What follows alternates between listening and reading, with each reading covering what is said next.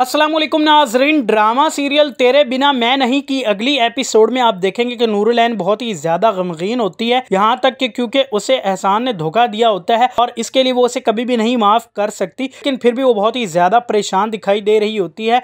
इधर उसे याद आ रहा होता है कि काश के अगर मुर्तज़ा कुछ वक्त के लिए उसका इंतज़ार कर लेता तो आज हालात और सूरत बहुत ही ज़्यादा मुख्तलिफ़ होती। उसे उसकी मोहब्बत मिल जाती, लेकिन अब सिर्फ़ और सिर्फ़ पछतावा उसका मुकदर बन चुका है, जिसके बाद नूरुल एन खुद बात करने के लिए भी आएगी मुर्तज़ा से, लेकिन मुर्तज़ा यही कह रहा होगा कि अब तुम्हें तरह से पछतावा क्यों हो रहा है? तुम तो बहुत ही ज़्यादा अपनी ज़िंदगी में आगे बढ़ चुकी थी और खुश थी। इस पर के नूरुल एन जवाब में यही कह रही होती है कि मैं गलत थी। मैंने सिर्फ़ और सिर्फ़ यही समझा कि कामयाबी ही सब कुछ है, लेकिन मैं ये भूल चुकी थी बात कि हमें रिश्तों का भी ख्याल रखना चाहिए और उनकी कदर करनी चाहिए और उनकी अहमियत को समझना चाहिए। इसी दौरान फिर तहनीत ये तमाम तर बातें सुन लेती है और वो यही कह रही होती है कि अब वक्त बहुत ही ज़्यादा गुजर चुका है। अब तुमने देर कर दिया तो बेहतर यही है कि तुम अपने घर पर तवज्जो दो और वजह यहाँ पर ना आया करो, क्योंकि मुझे बिल्कुल भी अच्छा नहीं लगता। इसके बाद फिर आगे आप ये भी देखेंगे। मुर्तज़ा यही कह रहा होता है तहनीत से कि तुम्हें उस पर गुस्सा करने की क्या ज़रूरत थी? इस पर तहनीत को और भी ज़्यादा बुरा लगता है और इन दोनों के दरमियान काफ़ी ज़्यादा झगड़ा बढ़ जाता है।